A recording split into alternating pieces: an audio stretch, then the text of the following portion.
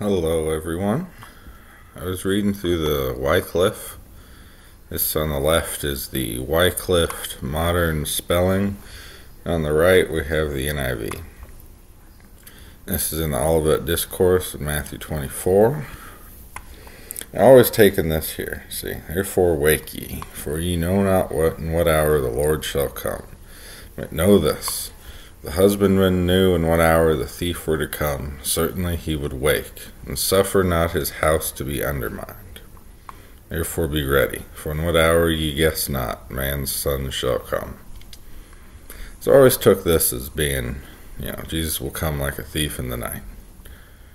Which is true. But he will not come as a thief in the night. He's come, you know, unexpectedly. Um, He's not coming to undermine his house. So this is not talking about Jesus here in this verse 43. So certainly we see that the churches have been undermined greatly. They've been broken into, as the NIV and modern translations usually say. It's not Jesus that broke into the church and undermined it. It's the enemy. So I thought that was interesting. I'd never thought about this verse or this concept in this way. And I do recommend you, uh, it's the Wycliffe, where is it? I why. It's the Wycliffe Bible with modern spelling here in the YouVersion